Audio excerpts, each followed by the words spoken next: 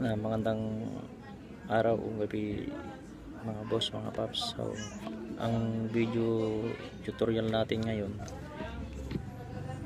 paano natin i-repair yung speedometer gauge ng FC16 Yamaha FC16 so ito sabi nung may-ari na nagpagawa is blackout siya. So paano natin malalaman na blackout siya. So kailangan natin siyang testerin. Kargan natin ang supply kung meron siya. So ito natanggal ko na yung mga tornilyo niya para mabilis lang siya tanggalin. So ito F16 to. Ayan, ito siya. So blackout so ngayon ito nakargahan natin siya ng supply 12 volt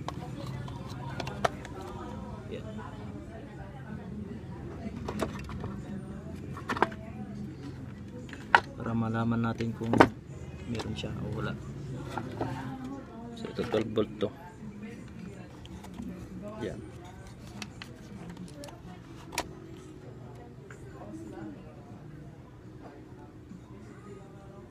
wala blackout talaga siya. So ngayon testerin natin. Hanapin natin yung sira. Lagyan natin sa amperahe. Resistance ang hanapin natin dito ngayon. So ito yung tester ko. Check natin buo buo buo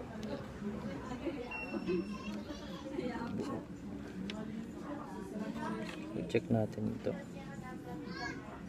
Hindi lang maghanap ng sira ng ano uh, walang oh. ito. Shorted. Shorted. So ito. Ito yung sira niya busted to sigurado. Para malaman natin dun sa pin ng positive. Meron siya pagdating sa kabila. Wala. Ito take natin ulit.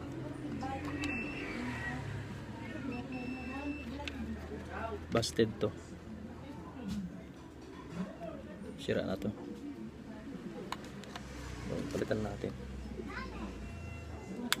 Para malaman natin kung talaga ito ba yun. Okay guys. Ito na. Hanap tayo ng pamalit. So, meron ako dito. Ito yung papalit natin.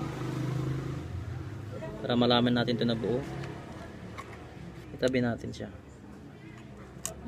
Then itest natin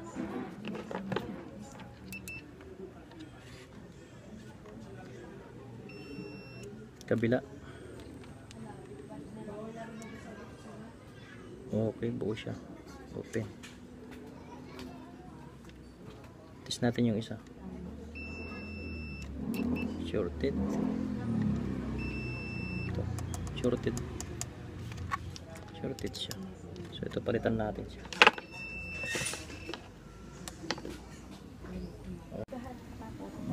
okay mga paps ito na siya. Palitan ko na ng sira na parts niya. Try natin. Yan. Magana na lahat.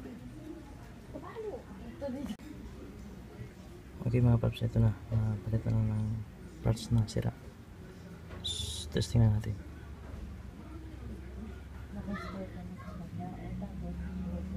Yan, okay na. So papakita ko lang yung pinalit natin kanina. So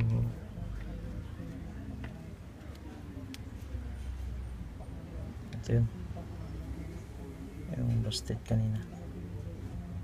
So ito okay na to. Gumagana na lahat yeah okay